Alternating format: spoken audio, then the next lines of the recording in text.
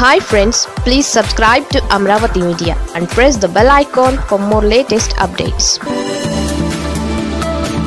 పవన్కు ఎటు పాలుపోవడం లేదా? ఈ విషయమే జనసేన పార్టీలో చర్చనీయాంశంగా మారింది.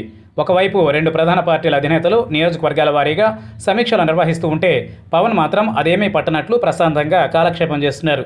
వచ్చే ఎన్నికల్లో గెలుపు లక్ష్యంగా జగన్మోహన్ రెడ్డి నియోజకవర్గాల సమీక్షకు శ్రీకారం చుట్టారు. కుప్పం రాజాం నియోజకవర్గాల్లోని కార్యకర్తలతో సమావేశమయ్యారు. జిల్లాల పర్యటనకు కూడా రెగ్యులర్గా వెళుతున్నారు.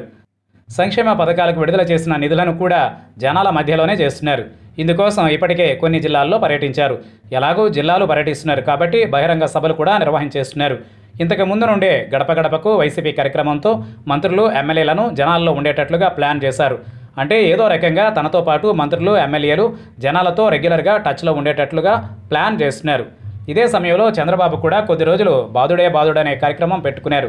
తర్వాత నియోజకవర్గాల సమీక్ష కూడా చేశారు. తాజాగా ఓ నాలుగు నియోజకవర్గాల నేతలతో సమీక్ష జరిపారు.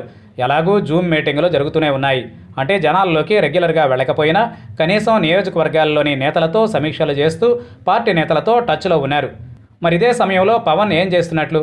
జిల్లాల పర్యటనలు లేక నేతలతోనూ రెగ్యులర్గా టచ్లో ఉండక ఏం చేస్తున్నారో ఎవరికీ తెలియదు. పార్టీకి ఇప్పటి వరకు పటిష్టమైన యంత్రాంగం లేదు. పార్టీలో తాను నాదెండ్ల మనోహర్ తరువాత చెప్పుకోదగ్గ మూడో నేత ఎవరూ లేరు.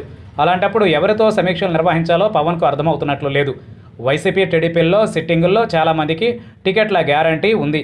అలాగే కొన్ని నియోజకవర్గాలలో అభ్యర్థులుగా చెప్పుకునేందుకు గట్టి నేతలున్నారు.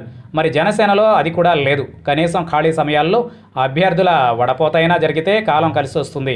మరి పార్టీలో ఎలాంటి యాక్టివిటీ లేకుండా కేవలం జగన్ను టార్గెట్ చేసుకుని నోటికొచ్చినట్లు మాట్లాడేస్తే జనాలు వాళ్ళే ఓట్లేస్తారని పవన్ అనుకుంటున్నారో ఏమో అర్థం కావడం లేదు.